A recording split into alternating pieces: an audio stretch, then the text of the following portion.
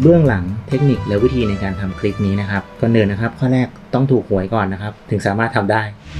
ครับการ setup นะครับก็ถ่ายง่ายๆในห้องนอนครับ ใช้กระดาษสีดำเพราะว่าต้องการให้ object มันเด่นนะครับ ส่วนการเซตไฟก็ง่ายครับ ใช้ไฟ main light Forza 60 นะครับ เป็นไฟขนาดเล็กพกพาง่ายนะครับ หยิบใช้งาน setup ง่ายมาก แล้วก็ไฟดวงเล็กอีกหนึ่งดวงนะครับ Aputure ALM4 นะครับ แต่พระเอกของเราในคลิปนี้นะครับ ก็คือเลนส์ Laowa Pro 24มิล f14 นะครับ เป็นเลนส์ที่ทำให้เราสามารถถ่าย macro แต่ในขณะเดียวกันได้มุมที่กว้างด้วยนะครับ แล้วก็สามารถจะแทงเข้าไปถ่ายในมุมที่ใกล้หรือเข้าไปในซอกซอยต่างๆนะครับในการถ่ายทำนะครับได้ลูกสตองนะครับ มาช่วยจัด prop เอาสลากเอากระดาษมาวางให้นะครับช็อตแรกที่จะพูดถึงก็คือช็อตที่เอาเลนส์เนี่ย แทงทะลุกระดาษเข้าไปเรื่อยๆนะครับช็อตนี้ก็ใช้การเซตโดย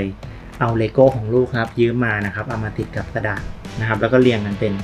เป็นขั้นเป็นขั้นไปเหมือนกับโดมิโนนะครับอันนี้ก็เป็นไอเดียนะครับเผื่อใครอยากจะถ่ายกระดาษอะไรก็ได้ ที่เราอยากจะถ่ายแล้วให้มันทะลุไปเป็นชั้นๆอย่างเงี้ยแต่สำคัญนะครับ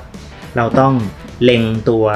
เขาเรียกว่าจุดสุดท้ายที่เราจะสไลด์เข้าไปก่อน เช่นผมต้องการจะโชว์นะครับว่าเออถูกหวยนะ2 2นะครับแล้วก็ตั้ง ล็อกโฟกัสที่ตัวนั้นก่อนนะครับ แล้วเราก็ค่อยๆถอยเลนส์ออกมา แล้วก็เติมกระดาษเข้าไป แล้วก็จำตัวระยะโฟกัสไว้ แล้วเราก็ค่อยดันเลนส์เนี่ยเข้าไปจนถึงจุดที่เรา mark ไว้อีกทีหนึ่งนะครับช็อต intro จะเห็นว่ามันเป็นเหมือนกับกระดาษพลิกไปพลิกมาเร็วๆใช่ไหมครับคล้ายๆกับหนัง comics นะครับ พวกมาเวลอะไรแบบนี้ฮะที่มันจะเป็นเหมือนกับการ์ตูนพับเปลี่ยนหน้าเร็วๆนะครับ อันนี้ก็ง่ายๆครับ ใช้กระดาษหวยนี่แหละนะครับ เอามาจ่อที่หน้าเลนส์นะครับ แบบนี้เลยแล้วก็แล้วก็เคลื่อนไปมา เลื่อนไปมาเหมือนเราพลิกกระดาษไปมานะครับ ทีนี้พอเราทำแบบนี้เสร็จเราก็เอาไป edit ครับ เพิ่ม speed นะครับ ในโปรแกรมตัดต่อสักพันเปอร์เซ็นต์ก็ได้ครับที่ผมทำนะ ผลลัพธ์ที่ออกมาก็จะประมาณนี้ฮะมันก็จะเหมือนกับกระดาษพลิกไปพลิกมาเร็ว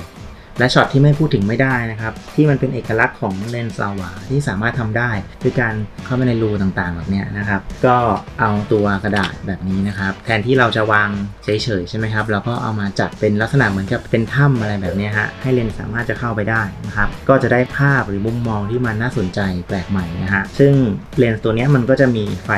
LED ที่ด้านหน้าแบบนี้นะครับ ตัวนี้มันก็จะช่วยให้การถ่ายภาพที่อยู่ในรูอะไรแบบนี้ที่แสงส่องไม่ถึงเนี่ยเป็นเรื่องง่ายขึ้นนะครับ วันนี้ก็มาแชร์เทคนิคนะครับ เบื้องหลังคร่าวๆจากการทำคลิปนี้นะครับ ถ้าใครมีอะไรสงสัยอยากคุยกันเพิ่มเติมนะครับ ยังไงก็คุยกันได้ทางเพจทำเรื่องเล็กให้เป็นเรื่องใหญ่ได้เลยนะครับสำหรับคลิปนี้นะครับ ขอตัวนะครับไปขึ้นรางวัลก่อนนะครับ แล้วพบกันใหม่คลิปหน้าครับ ขอบคุณที่มาลุ้นด้วยกันนะฮะสวัสดีครับ